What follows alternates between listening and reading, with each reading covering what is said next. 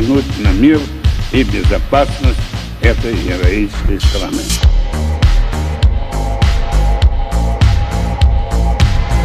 All U.S. forces will be out of Afghanistan by May 1, 2021.